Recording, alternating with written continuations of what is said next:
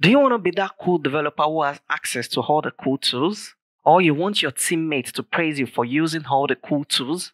Or you just need something to help you copy codes from other website designs very fast? Then listen, just listen. I might have just the perfect tool for you. I mean, ever since I discovered this tool, I've been making use of it and it's just magical. And the name of the tool is Div Magic. And it basically has extension for all major browsers, at least all browsers that I know you're probably making use of. I promise you, I won't take too much of your time. So let's dive right in and let's see what it does. So right here, we are in tailwindui.com and it's basically a collection of kits and components created by Tailwind Labs the maker of Tailwind CSS. So they basically have all these components, and for you to have access to every one of them, you have to pay for personal. You see around two hundred and for nine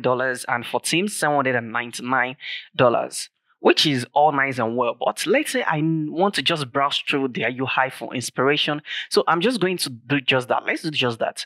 So we can just browse through all of the UI they have right here. And I'm just going to, okay, let's come to this stack layout and we can see this right here this is looking good and we can see the code here which means this particular one we have right here is basically free and let's actually browse through more and oh I think I'm loving this, but we don't have access to the code. So what I'm just going to do essentially is come right here to Div Magic. Okay, open iframe and I'm just going to select the aspects that I need. Now, one thing I want to note first is this tool is not perfect, but it actually is really, really helpful and pretty much good at what it does. So I'm just going to click on this and okay, come right here and paste this right in here.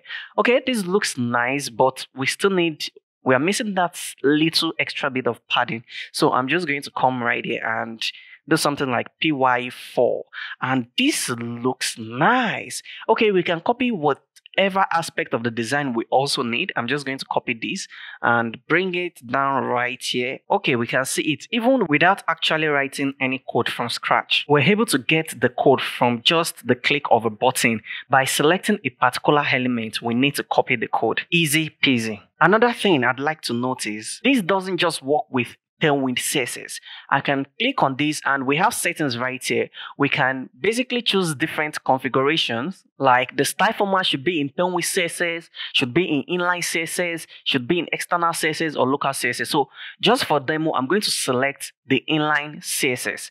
Okay, and we're just going to come right back here and let's just copy, select this, copy this and come right here. And we can see right here Inside of the div, we can see our inline styles being added to the elements.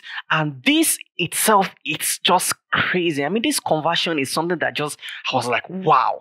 I mean, you can basically convert it to whatever it is you want, whatever, whatever style you want, whether Tailwind CSS, inline CSS. And also another amazing thing is you can select your component format, whether you're using JSX, for example. Okay. So if maybe you're working with React or any JSS framework, then this is also an awesome tool for you. Now to demo that this doesn't just work for maybe Tailwind CSS specific website or web app because as we can see right here, all the components here were basically built with Tailwind CSS. So I've selected a particular demo to make use of here. And if you're wondering, I got it from W3 Layouts. I just browsed through their templates and I just picked one that I felt I liked. So it doesn't just work for Tailwind CSS specific sites. Now, if we should check this particular template right here and we look through the code, let me just inspect something.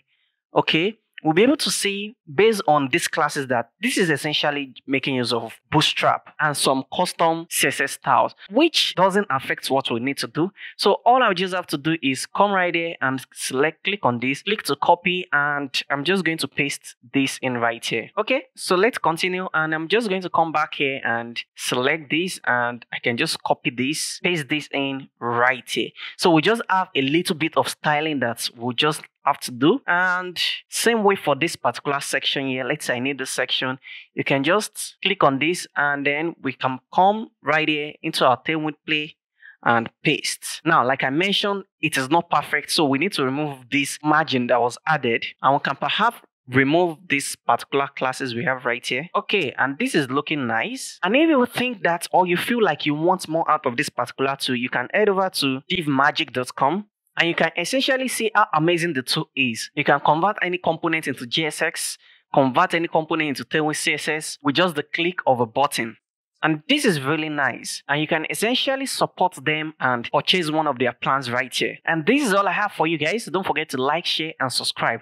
I'll see you in the next one.